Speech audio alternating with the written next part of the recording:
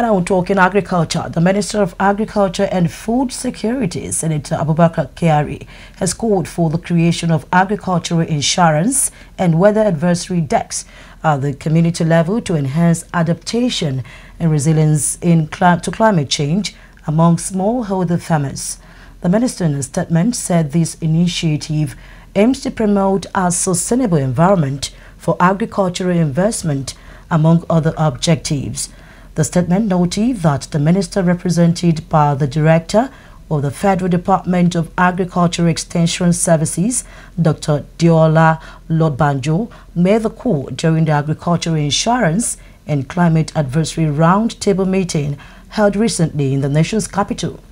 He pointed out that making weather advisory services available at the right time at the community level would reduce the effect of climate change on the agricultural ecosystem and boost production. The minister lauded USAID for its effort in strengthening social stability throughout social services and promoting a more market-led economy that has enhanced nation's capacity as a responsible regional and trade partner.